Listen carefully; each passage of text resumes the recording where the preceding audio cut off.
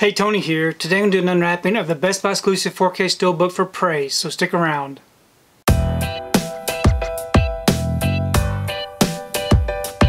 So today I received my order for the 4K Steelbook for Prey. This right here is the Best Buy exclusive Steelbook. Here's the front, and here's the back. If you'd like to read up on it and check out all these bonus features, you can go ahead and pause and do so. I'm going to go ahead and remove this from the wrapper. We can take a close look at this Steelbook. Okay, get the wrapper off and the J-card removed. Here's the front of the steelbook. It is a lightly glossed steelbook. No embossing or debossing. Very strange 20th Century Fox logo there. And here's the back. Great looking image. We open it up. We have the front and back together. I really like that. It is a continuation from the front and the back.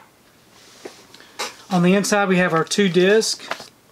We have our 4K disc here in green with some disc art. And we have our Blu-ray disc in burgundy with some different disc art. And we do have some great looking inside artwork. So overall I think this is a beautiful looking steelbook. So I'm really happy to have this one in the collection. I never did get to see this one when it was on streaming I believe. Um, but I'm definitely going to be checking this one out in 4K. Please leave me a comment below. Let me know what you think about this particular steelbook unwrapping and also let me know your thoughts on Prey because I really do enjoy reading your comments.